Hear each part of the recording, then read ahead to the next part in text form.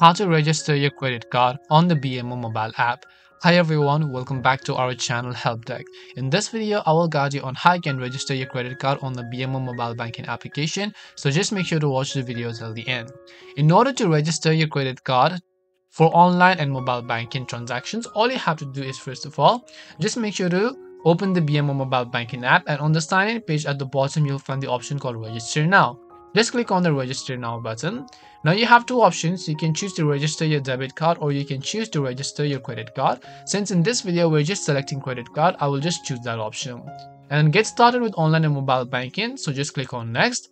Then after that, it will ask you to enter your BMO credit card number as well as the expiration date and the credit card validation number. Then once you've done that, just click on the next button from the bottom of the screen.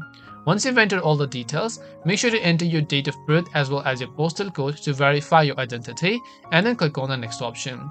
Then make sure to create a password for yourself. Once you've created a password, scroll down and then choose the option called next.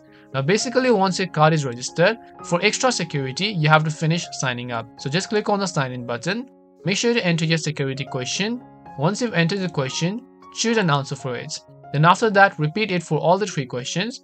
You can choose a trustless device if you want and then click on the next button again. And basically that is it on how you can register your credit card on BMO mobile app for online and mobile banking. We hope the video was really helpful and if it did help you, then make sure to leave a like and subscribe to our channel. If you have got any more questions, then feel free to leave them down. Thank you very much for watching till the end and see you in the next video.